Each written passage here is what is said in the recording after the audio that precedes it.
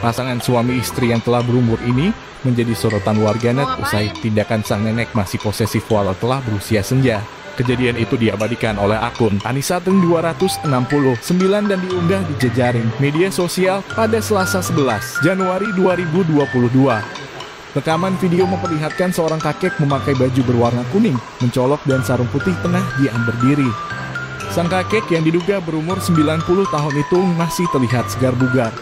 Ia memakai kacamata tengah menunggu istrinya yang sedang mengecek HP miliknya. Sementara perempuan yang memakai daster berwarna merah itu terlihat serius menyentuh layar smartphone tersebut. Mereka terlihat sedikit bercakap-cakap namun tidak terdengar di video. Sang kakek pun terlihat menunggu sabar namun sedikit gugup.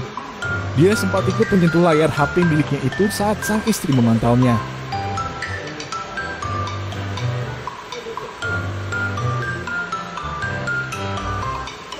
Ngapain?